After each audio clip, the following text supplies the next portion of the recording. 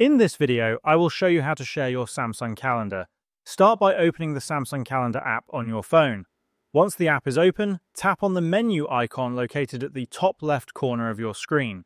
From the menu, tap on the Settings icon to access the calendar settings. Scroll down until you find the Manage Calendars section and tap on it.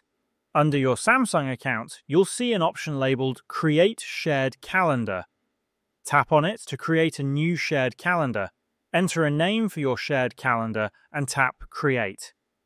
Next, you'll be asked to set permissions for the shared calendar. You can choose whether the people you invite can edit the calendar or only view it. Once you've set the permissions, you can invite people to the calendar.